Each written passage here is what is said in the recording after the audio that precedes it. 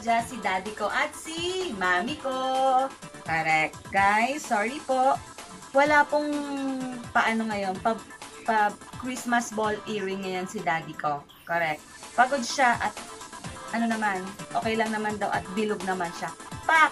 Anyway, today I will show you how to cook simple and easy lomi. Ayan.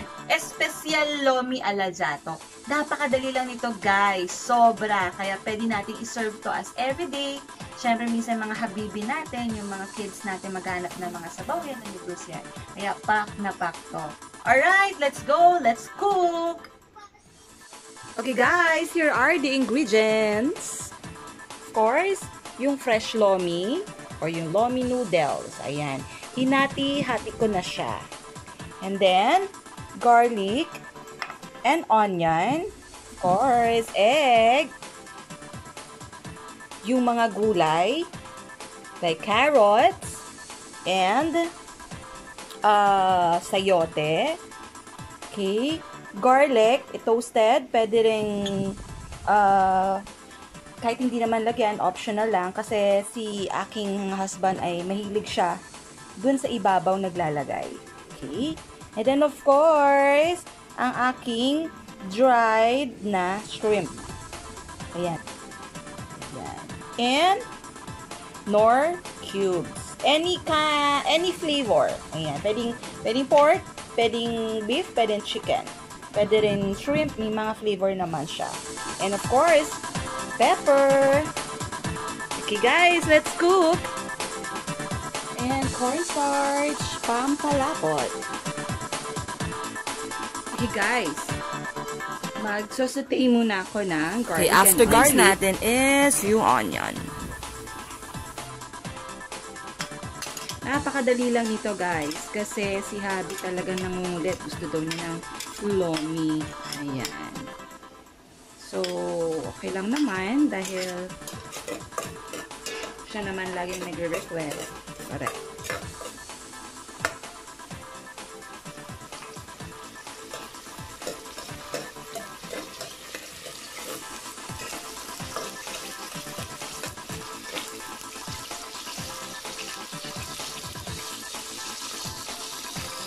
Bango. Next natin is yung garlic.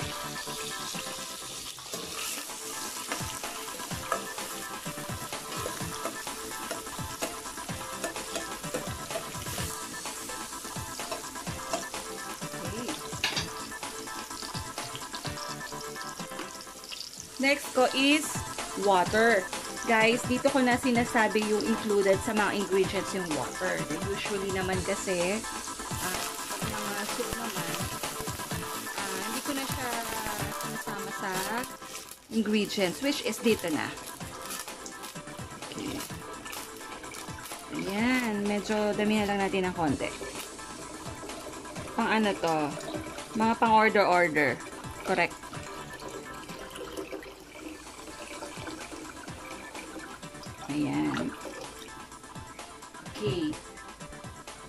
And then guys, simmer for 5 minutes.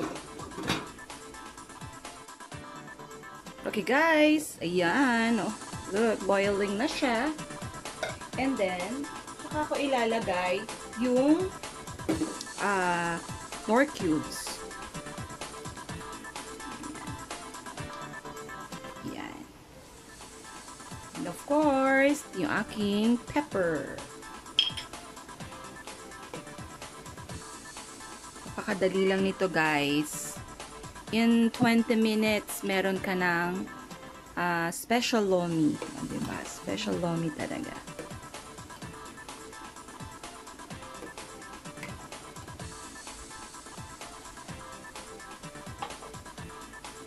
Ayan. Nakulo na siya.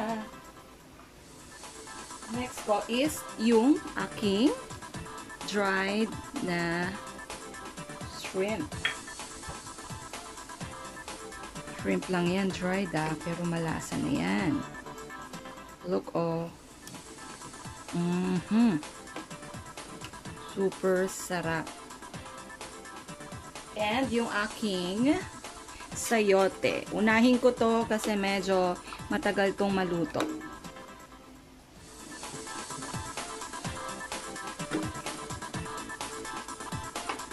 Okay, palalambutin ko lang yung gulay na sayote and then ine-next ko na is yung lomi na noodles. Okay guys, ito na. Kumukulo na siya. Malambot na rin yung gulay niyan. Okay. Next is yung fresh lomi. Ayan.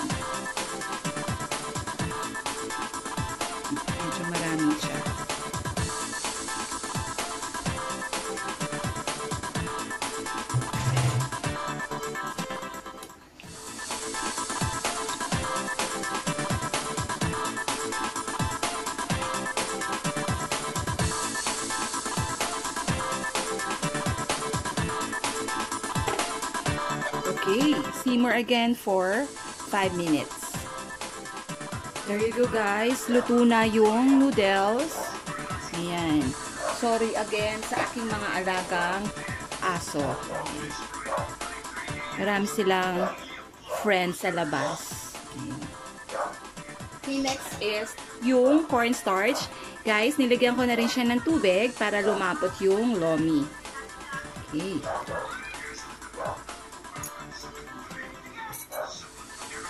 Hindi na lang natin lumapot.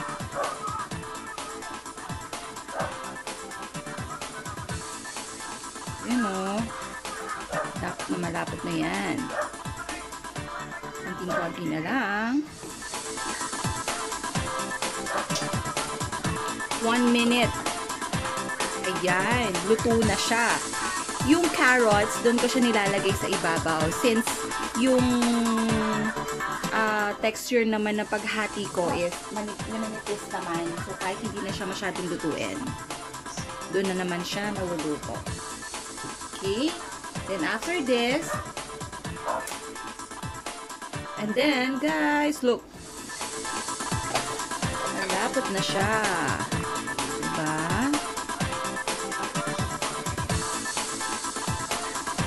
Lastly is yung aking egg. Ayan. Mix natin. Yummy. Okay. Ready to eat na. Okay guys, finally dito na aking special lomi alaja. O, diba? Ilalagay ko na yung carrots. And of course, yung aking garlic.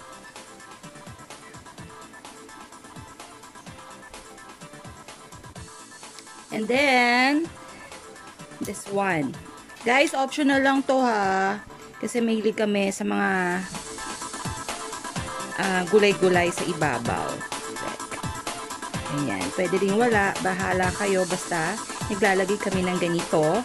And then, pwede rin namang hindi. So, thank you. Anyway, bye. Uh, please don't forget to like, share, subscribe our channel. Team Waja, si daddy ko at si mami ko para sa cooking ng ina mo. Thank you guys and God bless you.